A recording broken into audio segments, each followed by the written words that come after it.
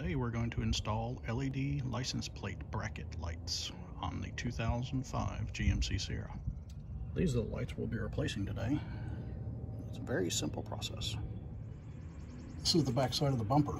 To remove the light, all you have to do is push on this little clip right here,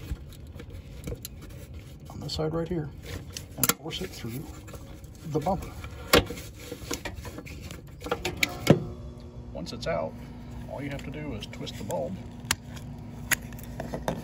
install the new unit.